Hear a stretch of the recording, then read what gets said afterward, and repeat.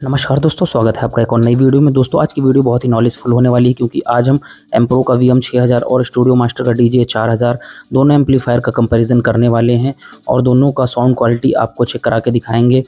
आप देख सकते हैं, यहाँ पे पूरा सेटअप लगा हुआ है। अगर दोस्तों, आप चार टॉप के लिए एक बहुत अच्छा एम्पलीफायर खरीदना चाहते हैं, जो कि 4000 से 6000 वाट के बीच में हो, आपका चार टॉप इजीली चला दे। तो आप इस वीडियो को पूरी देखिएगा और आपको पता चल जाएगा कि एम्पलीफायर कौन सा लेना चाहिए। आप देख सकते हैं, यहाँ पे चार टॉप लगा हुआ है। और यहाँ पे स्टेंजर का मिक्सर लगा हुआ है। तो हम आप लोगों को लाइव टेस्टिंग करके दिखाएँगे और लाइव दिखाएँगे कि आप देख सकते हैं यहाँ पे दोनों एम्पलीफायर लगा हुआ है। तो आपको एम्प्रो वी एम छः हज़ार या स्टूडियो मास्टर चार हज़ार वाट कौन सा एम्पलीफायर लेना चाहिए और दोनों एम्पलीफायर का साथ ही साथ हम प्राइस भी आपको बताएँगे और यह भी बताएँगे कि आपको डीजे के लिए कौन सा एम्पलीफायर लेना चाहिए। अगर आप लाइव का काम करते हैं तो आपको कौन सा एम्पलीफायर लेना चाहिए। तो वीडियो को पूरी लास्ट तक देखिएगा और अगर आप हमारे चैनल पर नए आए हैं तो चैनल को सब्सक्राइब कर लीजिए और वीडियो अच्छी लगेगी तो वीडियो को लाइक ज़रूर कीजिएगा। दोस्तों, इस वीडियो को पूरा देखिएगा, आपको ज़रूर कुछ ना कुछ नया सीखने को मिलेगा। तो चलिए देखते हैं अब और डिटेल। तो दोस्तों, यहाँ पे एम्प्रो का वी एम मॉडल नंबर लगा हुआ है, जो कि टू ओम पे अट्ठाईस वाट पर वैल्यूम आउटपुट देता है और डी जे चार हज़ार वाट है। जो कि टू ओम पे 2000 वाट पर वैल्यूम आपको आउटपुट दे देता है। दोस्तों, यहाँ पे डी ट्वेंटी लगा हुआ है, जो कि स्टेंजर की तरफ़ से है और आप मिक्सर देख सकते हैं, जो कि स्टेंजर का है एस एम एस सी अगर आपको इसकी वीडियो देखनी है तो आप हमारे चैनल पर चले जाइए। दोस्तों, यहाँ पे टॉप लगा हुआ है।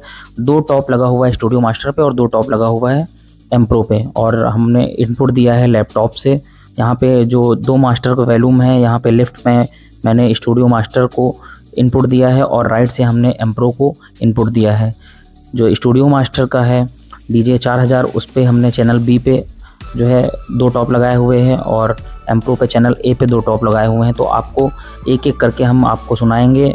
आप लोग एयरफोन लगा के सुने और दोनों में क्या डिफरेंस है वो कमेंट सेक्शन में ज़रूर बताएँ और वीडियो के लास्ट में हम अपना रिव्यू देंगे और दोनों एम्पलीफायर का प्राइस बताएँगे और आपको यह भी बताएँगे कि दोनों में से कौन सा एम्पलीफायर लेना चाहिए। तो आइए टेस्टिंग देख लेते हैं।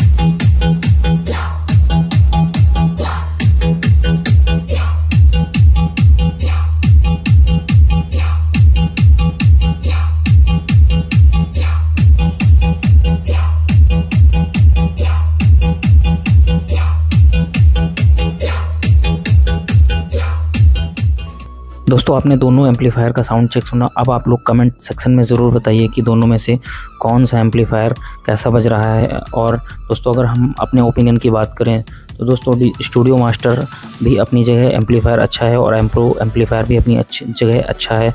क्योंकि दोनों एम्पलीफायर के जो रेट में है, वो लगभग दस हज़ार का डिफरेंस है। स्टूडियो मास्टर आपको चालीस चवालीस हज़ार रुपये के लगभग देखने को मिल जाएगा और एम्प्रो आपको पचपन हज़ार के आसपास देखने को मिल जाएगा। तो दोस्तों, इस वजह से थोड़ा बहुत डिफरेंस है क्योंकि रेट में भी डिफरेंस है तो आउटपुट में ज़ाहिर सी बात है डिफरेंस रहेगा। लेकिन अगर आपको लाइव का काम करना है तो आप आँख मूंद के स्टूडियो मास्टर ले लीजिए। अगर आपको डीजे का काम करना है तो आप आँख बंद करके जो है एम्प्रो का एम्पलीफायर ले सकते हैं, लेकिन स्टूडियो मास्टर भी किसी से कम नहीं है। तो दोस्तों, उम्मीद करते हैं वीडियो से आपको कुछ सीखने को मिला होगा। वीडियो अच्छी लगी तो वीडियो को लाइक कीजिएगा, चैनल पर नया है तो चैनल को सब्सक्राइब कर लीजिएगा। मिलते हैं किसी नेक्स्ट वीडियो में, तब तक के लिए बाय।